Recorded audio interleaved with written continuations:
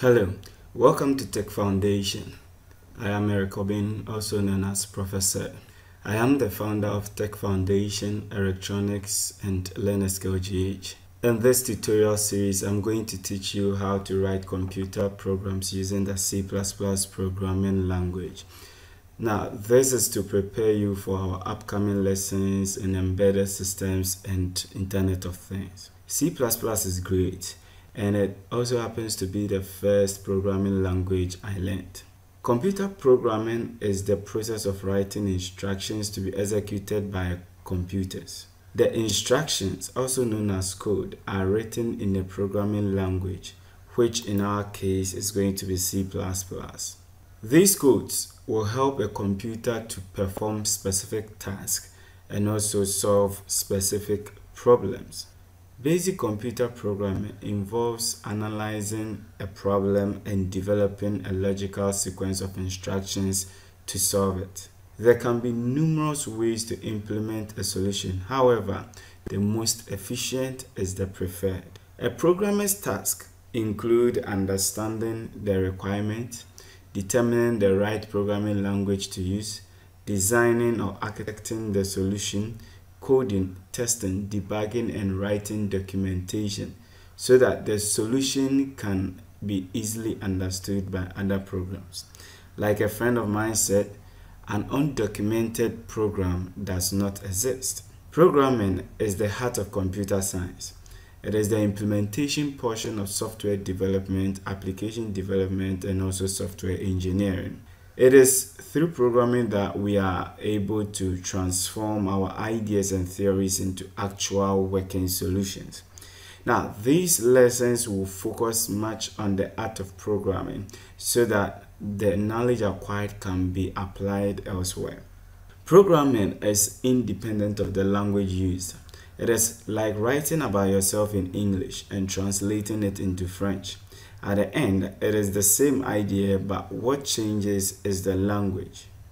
I keep hearing people complain about the difficulty of certain programming languages, but then after engaging them in a conversation, uh, what I realize is that their problem is not with the programming language, but the art of programming. People have difficulties in thinking or coming up with computer solutions for problems. And that is what I intend to help you do by the end of this tutorial series. Of course, I agree that some languages have weird syntax and are not eh, very friendly.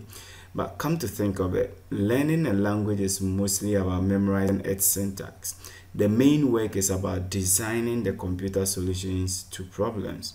Now, let's assume I ask you to write an essay about yourself in your own language of choice. You can be very fluent in that language, but if you don't know how to write an essay or plan one, then you cannot do the task. Similarly, if you know how to write an essay but cannot express yourself in the chosen language, then again you cannot do the work. However for the latter it is easy to get someone who can understand you and express your thoughts in the chosen language. So once you know how to write an essay about yourself you should be able to express your thoughts in any language you are fluent in. So programming itself is not language dependent.